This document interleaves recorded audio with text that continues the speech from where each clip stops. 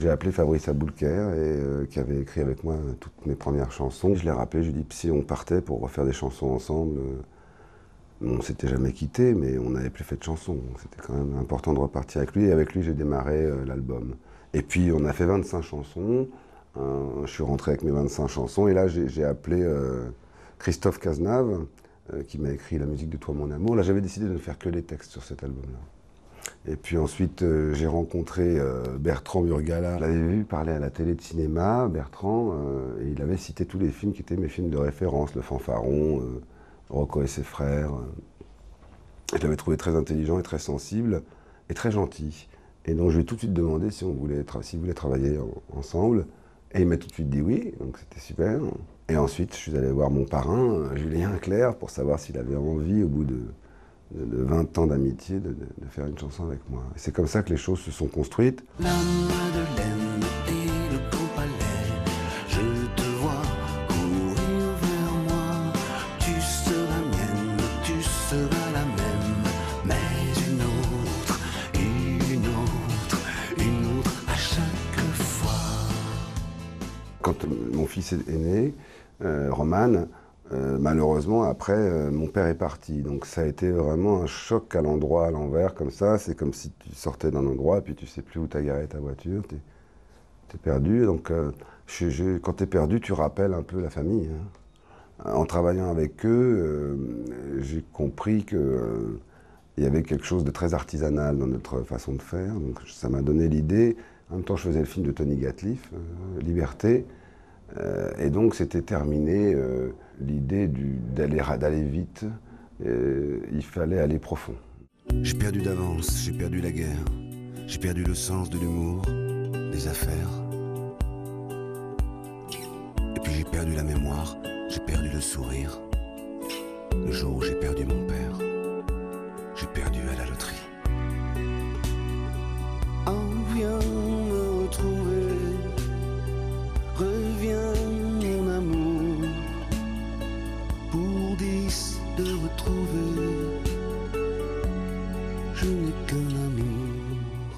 Le numérique nous avait euh, habitués à aller vite au résultat.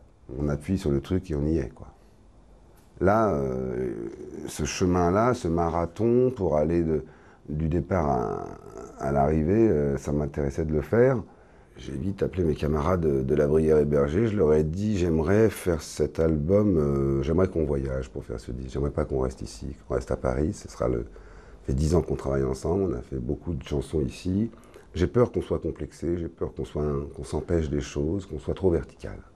J'ai envie d'allonger les choses, d'aller dans une ville plus longue, euh, avec plus d'espace, avec des références plus larges, plus hautes, plus grandes que nous.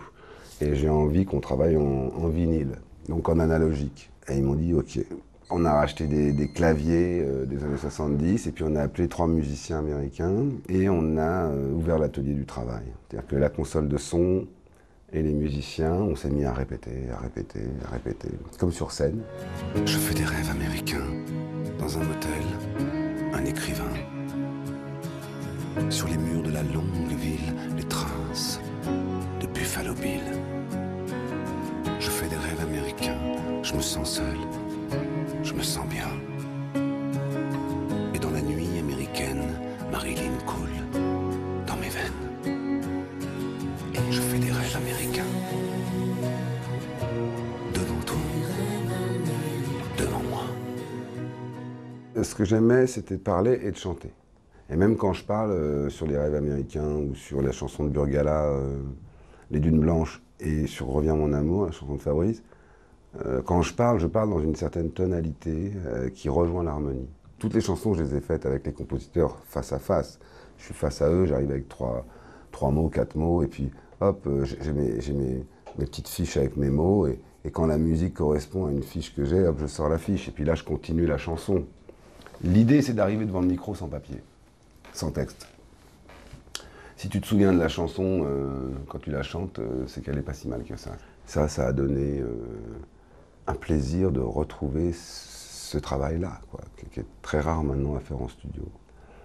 Et bon, Ça me plaît de l'avoir fait comme ça.